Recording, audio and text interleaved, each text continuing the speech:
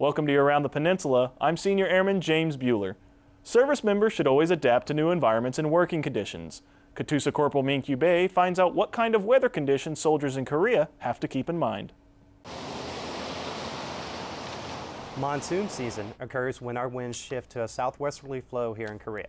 That means the warm, moist air from the south starts moving up into the peninsula, and it conflicts with the cooler, drier air that's located to the north of us.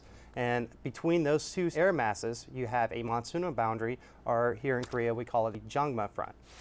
Weather associated with monsoon is two to four days of lasting rain. This can lead to several safety hazards. Flooding is the largest one. Um, other dangerous hazards uh, are flash flooding and also mudslides. During periods of heavy rain, we recommend not to park uh, near hills or mountains because that's where usually flash flooding and mudslides occur. While on post, keep an eye out for signs that tell you not to park. Also, it's important to know where the high ground is in your area before heavy rain. During a flood, do not attempt to cross a stream or a roadway that is flooded. Uh, you don't know how deep the water is, you don't know what the condition of the road is, so either yourself or your vehicle could get swept away. KATUSA Corporal Minkyu Bay, Seoul, Korea. Monsoon season occurs from June to September. Always stay aware and be vigilant. The Warrior Leaders Course, or WLC, helps soldiers become good leaders. Army Sergeant Sam DeLeon shows how one soldier is taking that first step. The Warrior Leaders course on Camp Jackson helps soldiers learn the initial steps they need to become good leaders. For one soldier, the first step is getting set in the right direction.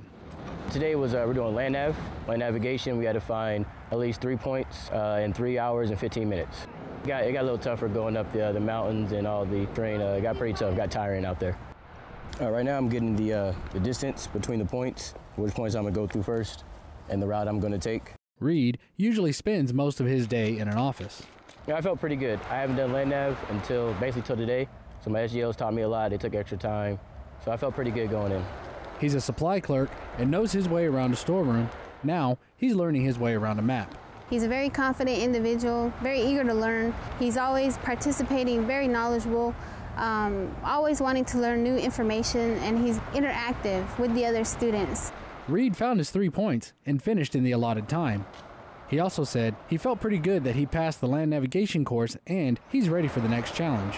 Army Sergeant Sam DeLeon, Camp Jackson, Korea. Specialist Reed finished WLC in the top 10 of his class. The saying goes, don't judge a person until you've walked a mile in their shoes. This soldier tries on a pair of shoes with over a 2,000 mile range. Senior Airman Destiny Chavez explains. These, these uh, I don't know what it's called, the stick. Did I say that right? Mm-hmm. United States Forces Korea Command Sergeant Major Anthony Mahoney has served for nearly 30 years, and he's still learning. Like I said, I'm, I'm grown, grown up in the infantry. Today, F 16 pilot Captain Van Morrissey from 36 Fighter Squadron gives him a lesson in flight. We integrate a lot with the Army, so I think it's really important for him to see the capabilities of the aircraft and also the limitations that we have with some of our uh, current avionics and uh, really show him what we can bring to the fight and uh, what we need in the future to make that sustainable. And some, bring some unique attributes to the battlefield, which I was never really aware of uh, until actually getting to experience uh, what one of these wonderful aircraft can do in flight. I now am aware of some of the capabilities of our brothers and sisters in the Air Force, giving us close air support uh, from above. Today's experience bridges the gap between land and air, creating a better environment for our future forces. Because we're all part of a joint team around the world and especially here in Korea. And it doesn't matter what uniform you wear, it, the, your, your label there on everybody starts with U.S., United States. So it doesn't matter if you're a sailor, a Marine, or an airman, or a soldier, we're all in the same family. Senior Airman Destiny Chavez, Osan Air Base, Korea. Command Sergeant Major Mahoney is the first Command Sergeant Major to participate in a familiarization flight in 15 years. War heroes are honored in many different ways. Senior Airman Christiana Scott shows how 8th Army honors the ROK's most influential veteran. Fighting is a very, very uh, rough condition. A Korean war hero remembers his time as a young soldier. We, uh, South Korea, anyway, uh, Americans help uh, used to be this country very poor country, not like this. And now, 60 years later, 8th Army is honoring this veteran by naming its mobile operational command post after Paik Sun Yup, the ROK's first four-star general. There is a uh, tradition in the United States Army uh, to name those things that we're most fond of. We name buildings after heroes, and in many uh, of our best outfits, we name our command posts. The General Paik Sun Yup Command Post. Senior Airman Christiana Scott, Seoul, Korea. General Paik Sun Yup will celebrate the 60th anniversary of the Armistice Agreement this year. Sometimes just talking to someone can make all the difference in the world. Army Sergeant Jared Don learns that help is always available. To some, this looks like an ordinary phone. But in reality, this phone has the power to save lives. Major General Brian Bishop is making the final test call of the new suicide hotline. This line is going to be manned 24 7, and the agency who will be primarily manning this will be our veterans, uh, Veterans Crisis Line, the military crisis line personnel that is also manned 24 7. This service is available to all military, dependents, and civilians. Having a listening ear just a phone call away is an excellent tool for those that need help anytime, day or night. Right now. that completes the 360 process. Army Sergeant Jared Don, Yongsan, Korea. The new suicide hotline is 24 hours a day, 7 days a week. Almost everyone relies on electricity in their daily lives, so changing habits to conserve energy can be difficult. Specialist Sarah Herring shows us what happens when a few power plants go offline. This summer just got a bit hotter. With some of Korea's power plants going offline, the peninsula will face blackouts during the summer. Three power plants are going to be out of offline. Those blackouts are just going to take sections of the peninsula, specific areas, out of power for a certain time so they don't affect everybody at the same time. During this downtime, the power company will be working with the military so bases won't be affected.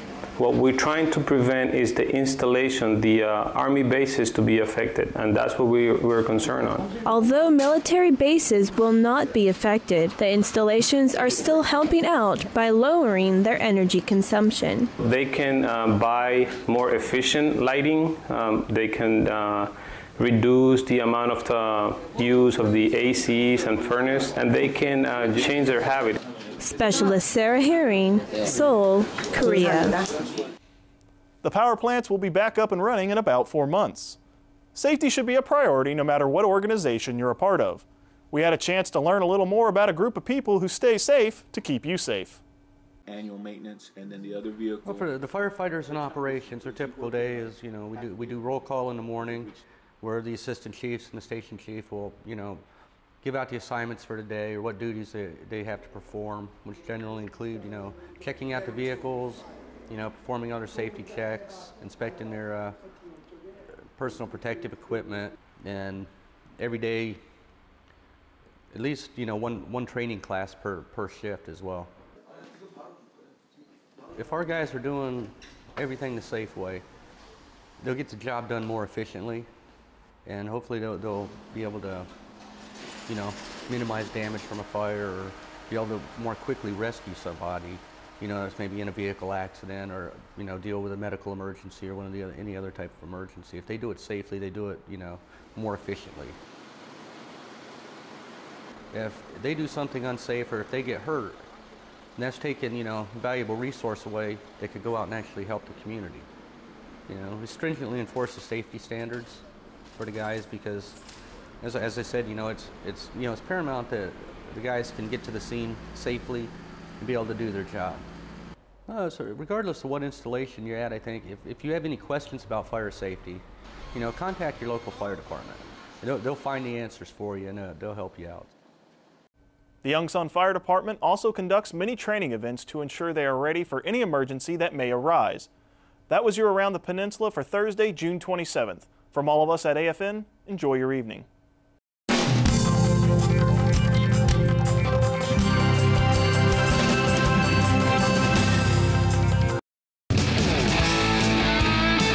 I'm Major General Dave Quantock, Provost Marshal General of the Army and Commanding General of the United States Army Criminal Investigation Command and Army Corrections Command. Welcome to 8th Army. We're excited you're joining the team.